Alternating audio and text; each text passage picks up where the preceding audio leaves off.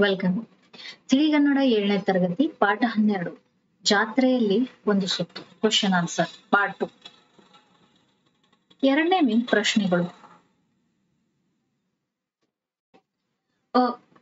ಕೆಳಗಿನ ಪ್ರಶ್ನೆಗಳಿಗೆ ಒಂದು ವಾಕ್ಯದಲ್ಲಿ ಉತ್ತರಿಸಿರಿ. ಒಂದನೇ ಪ್ರಶ್ನೆ, ಜಾತ್ರೆಯಲ್ಲಿನ ಅಂಗಡಿಗಳನ್ನು ನೋಡಿ ವೇಣು ಏನೆಂದು ಆಶ್ಚರ್ಯ ವ್ಯಕ್ತಪಡಿಸಿದನು. ಉತ್ತರ, ಜಾತ್ರೆಯಲ್ಲಿ ವಿವಿಧ ರೀತಿಯ ಅಂಗಡಿಗಳು, ಮಕ್ಕಳಿಗೆ ಇಷ್ಟವಾಗುವ ಆಟಗಳು, ಜನಸಾಗರವನ್ನು ನೋಡಿ, ಅಬ್ಬ, ಎಷ್ಟೊಂದು ಅಂಗಡಿಗಳು ಎಂದು ಆಶ್ಚರ್ಯ ವ್ಯಕ್ತಪಡಿಸಿದನು. ಎರಡನೇ ಪ್ರಶ್ನೆ, ದೊಂಬರಾಟದ ಹುಡುಗಿ ಯಾವ ಸಾಹಸ ಮಾಡುತ್ತಿದ್ದಳು? ಉತ್ತರ ದೊಂಬರಾಟದ ಹುಡುಗಿ ತಂತಿಯ ಮೇಲೆ ಕೋಲಿನ ಸಹಾಯದಿಂದ ದೇಹದ ಸಮತೋಲನ ಕಾಯ್ದು ಎಚ್ಚರಿಕೆಯಿಂದ ನಡೆಯುವ ಸಾಹಸ ಮಾಡುತ್ತಿದ್ದಳು. ಮೂರನೇ ಪ್ರಶ್ನೆ ದೊಂಬರಾಟದ ಹುಡುಗಿಯನ್ನು ಕಂಡ ರಶ್ಮಿಗೆ ಕಾಡಿದ ಪ್ರಶ್ನೆಗಳೇನು? ಉತ್ತರ ದೊಂಬರಾಟದ ಹುಡುಗಿಯನ್ನು ಕಂಡ ರಶ್ಮಿಗೆ ಕಾಡಿದ ಪ್ರಶ್ನೆಗಳೆಂದರೆ ಈ ರೀತಿ ಚಿಕ್ಕ ಮಕ್ಕಳನ್ನು ದುಡಿಸುವುದು ತಪ್ಪಲ್ಲವೇ? ಅವಳು ನಮ್ಮಂತೆ ಶಾಲೆಗೆ ಹೋಗಬೇಕಲ್ಲವೇ ಎನ್ನುವುದು.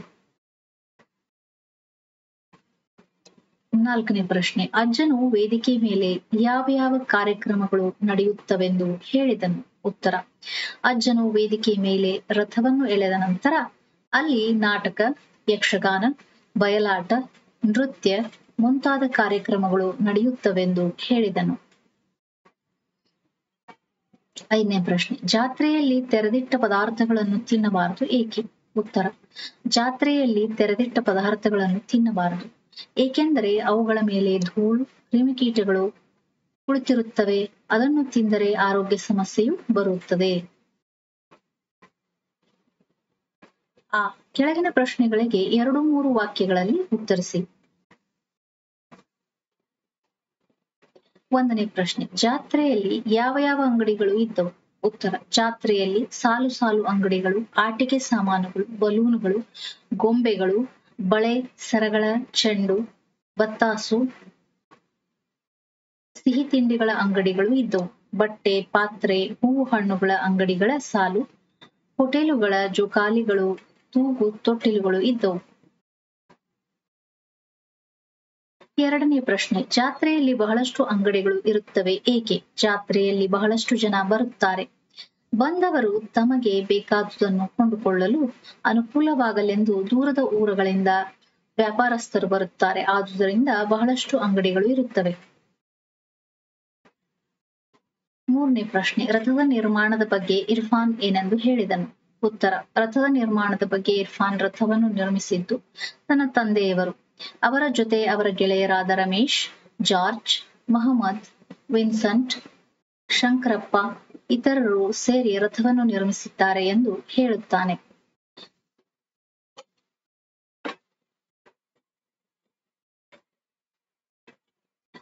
ಹಲವು ದಿನಗಳಿಂದ ಸಿದ್ಧತೆ ಮಾಡಿ ನಿರ್ಮಿಸಿದ್ದರು ಎಂದು ಹೇಳುತ್ತಾನೆ.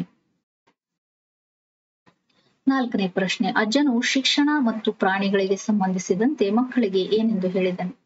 ಉತ್ತರ. ಅಜ್ಜನು ಶಿಕ್ಷಣ ಮತ್ತು ಪ್ರಾಣಿಗಳಿಗೆ ಸಂಬಂಧಿಸಿದಂತೆ ಮಕ್ಕಳನ್ನು ಸಂಪಾದನೆ ಮಾಡಲು ಉಪಯೋಗಿಸಬಾರದು.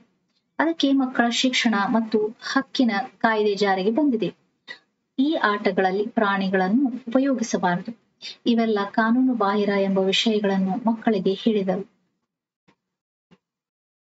ಐದನೇ ಪ್ರಶ್ನೆ, ರಥದ ಮುಂದೆ ಸಾಗಿದ ಕಲಾ ತಂಡಗಳು ಯಾವುವು? ಉತ್ತರ, ರಥದ ಮುಂದೆ ಸಾಗಿದ ಕಲಾ ತಂಡಗಳು ನಂದಿ, ಕಂಸಾಳೆ ನಂದಿ ವಜ ಅಲ್ಲ, ಇದು ಧ್ವಜ.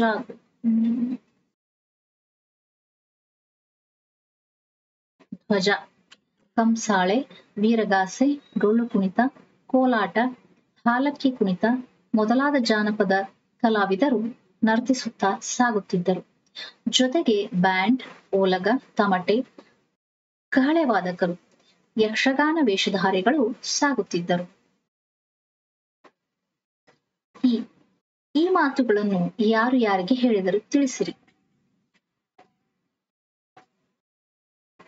ಒಂದನೇ ಪ್ರಶ್ನೆ, ಜಾತ್ರೆಯಲ್ಲೇಕೆ ಇಷ್ಟೊಂದು ಅಂಗಡಿಗಳು? ಉತ್ತರ, ಈ ಮಾತನ್ನು ರಶ್ಮಿ ಅಜ್ಜನಿಗೆ ಕೇಳಿದಳು. ಎರಡನೇ ಪ್ರಶ್ನೆ, ರಥದ ಮುಂದೆ ಸಾಗುತ್ತಿರುವ ವಿವಿಧ ವೇಷಧಾರಿಗಳು ಯಾರು? ಉತ್ತರ, ಈ ಮಾತನ್ನು ವೇಣು ಅಜ್ಜನಿಗೆ ಕೇಳಿದನು. ಮೂರನೇ ಪ್ರಶ್ನೆ. ಹೌದು, ಅವಳ ಧೈರ್ಯ ಸಾಹಸವನ್ನು ಮೆಚ್ಚಲೇಬೇಕು. ಈ ಮಾತನ್ನು ಇರ್ಫಾನ್ ವೇಣುವಿಗೆ ಹೇಳಿದನು. ಮೂರನೇ ಮೇನ್ ಭಾಷಾಭ್ಯಾಸ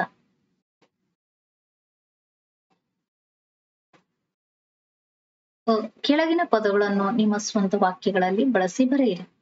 ಒಂದನೆಯದ್ದು, ಆಕರ್ಷಿಸು. ಹೂವು ದುಂಬಿಯನ್ನು ಆಕರ್ಷಿಸುತ್ತದೆ. ಎರಡು, ಕುಶಲತೆ. ವಸ್ತುಗಳನ್ನು ತಯಾರಿಸುವಾಗ ನಮ್ಮ ಕುಶಲತೆಯನ್ನು ತೋರಿಸಬೇಕು.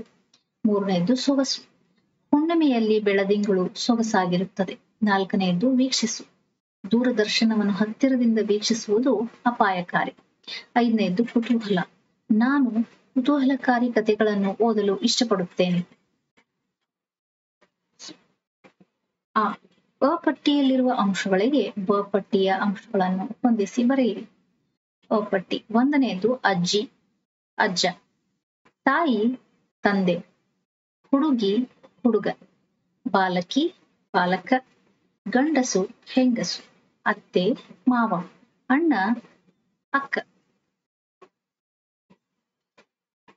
ಈ ಕೆಳಗಿನ ಪದಗಳಿಗೆ ವಿರುದ್ಧಾರ್ಥಕ ಪದಗಳನ್ನು ಬರೆಯಿರಿ. ಒಂದು, ಅನುಕೂಲ, ಅನಾನುಕೂಲ. ಎರಡು, ಸಂತೋಷ, ದುಃಖ. ಮೂರು, ಧೈರ್ಯ. ಅಧೈರ್ಯ. ನಾಲ್ಕು, ಆಧಾರ, ನಿರಾಧಾರ.